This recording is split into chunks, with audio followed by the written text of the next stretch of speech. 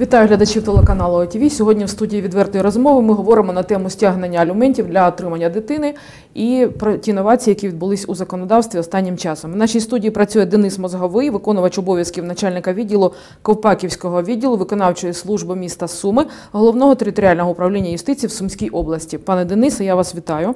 Доброго дня.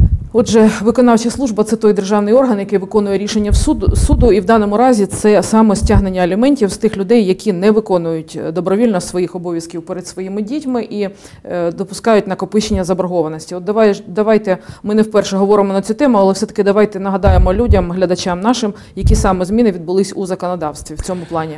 На сьогоднішній день е, відбулися знову ж таки кардинальні зміни, і Верховною Радою прийнятий новий е, закон. Це будемо будемо, вважати третій пакет вже е, закону, який у народі називається.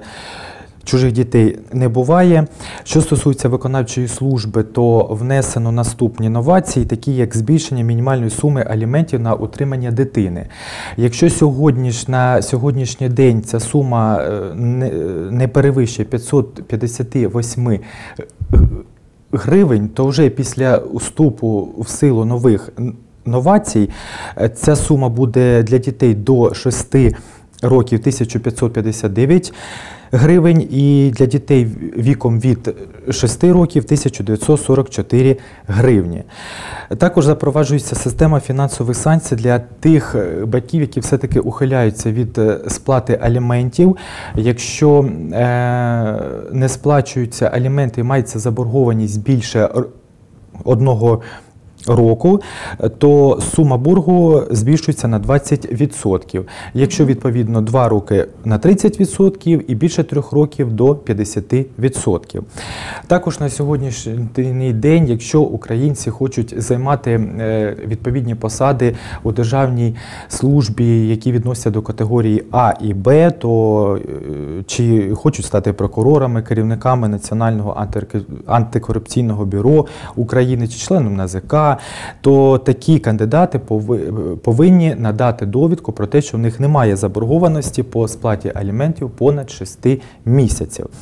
Якщо заборгованість чиновника, який вже е, має посаду, в нього заборгованість більше 12 місяців, то так, то такого такий чиновник підлягає звільненню. Уже були такі випадки, що дійсно от виявили таких чиновників? Ні, ще не було, ще не було? не було таких випадків, тому що зміни ще не набули чинності, і це буде, я так думаю, десь з середини е, серпня 2018 року, коли вже запрацюють новації, тоді ми вже будемо таким чином реагувати. Е, також на сьогоднішній день, якщо боржник не сплачує аліменти понад 3 місяці, він потрапляє до єдиного реєстру боржників, і з таким боржником, нотаріусом або державним реєстратором забороняється вчиняти будь-які дії. Це буде якась така е, єдиний реєстр, де буде він і на сьогоднішній день є. Угу. Якщо особа має борг е, за несплату банківського банківського кредиту, адміністративного угу. штрафу, вони потрапляють до єдиного реєстру боржників. Аліметники раніше туди не потрапляли. На сьогоднішній день, якщо три місяці є заборгованість по сплаті аліментів, угу. особа така потрапляє до єдиного реєстру боржників Це автоматично, і да? вчиняти будь-яке відчуження майна вони не мають права. Да, Це все відбувається автоматично. Також збільшується строк суспільно корисних робіт до 460 годин, адміністративний штраф до 10 діб для тих, хто ухиляється від суспільно корисних робіт, запроваджується кримінальна відповідальність за злісне ухилення від суспільно корисних робіт у вигляді позбавлення волі до двох років.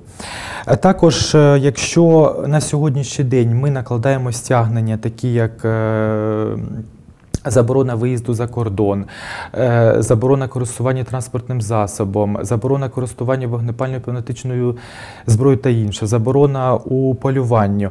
Якщо заборгованість перевищує 6 місяців, то вже за новими новаціями це буде 4 місяці. Але якщо дитина хвора або має інвалідність, то державний виконавець не чекає 4 місяців, а може накладати ці стягнення через 3 місяці. Це дуже суворе законодавство, я скажу. Е, Суворе законодавство, але слід тут зазначити, що чому воно таке суворе, і я пам'ятаю виступ е, заступника міністра юстиції на телебаченні. Е, І коли запитали, чому саме юстиція взялася за аліменти, відповідь була така: бо це діти, бо це діти, бо це майбутнє України, і за кого піклуватися, як не за дітей на сьогоднішній день.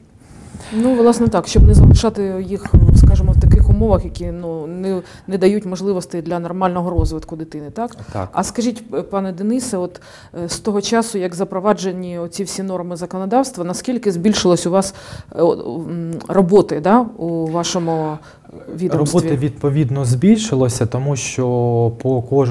тому що для того, щоб вести ці новації, які були запроваджені раніше, і які запровадяться у майбутньому, про, які ми говоримо, звичайно, що на кожну держ- державну виконавця е, збільшується робота, е, бо ж.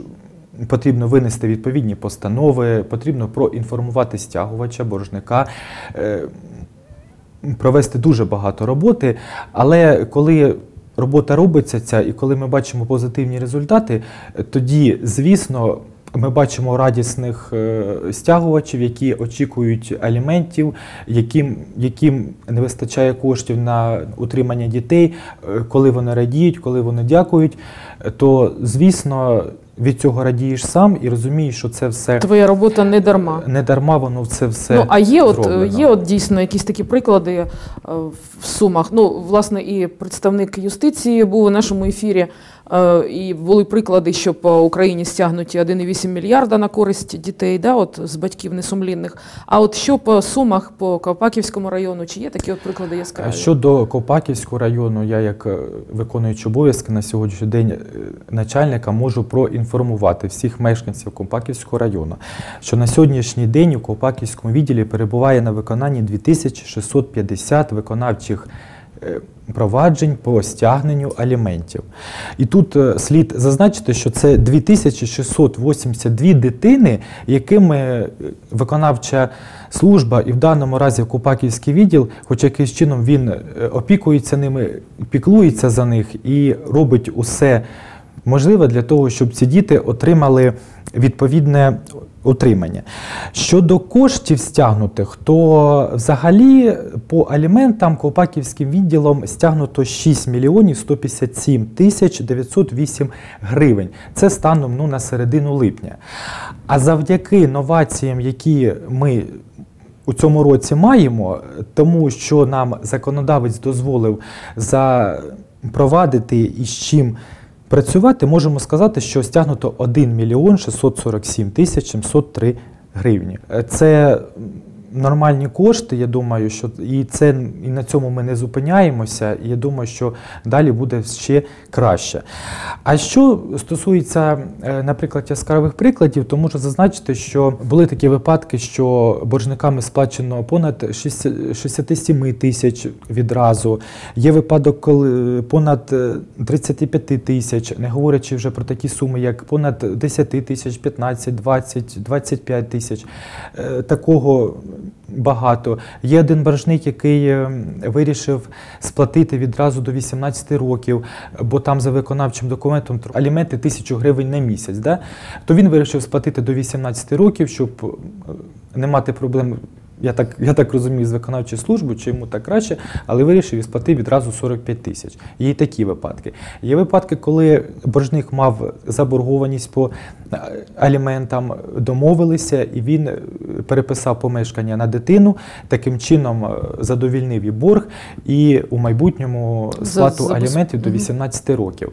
Тобто ніхто не забороняє між батькам домовлятися між собою по, по цих всіх е, випадках. Ну, а були такі, скажімо, звернення, може, від батьків, що він е, допомагав добровільно, але ніяк не фіксував свої витрати на дитину. Да? А тепер виявилось, що на нього подали до суду на стягнення аліментів. От були такі випадки.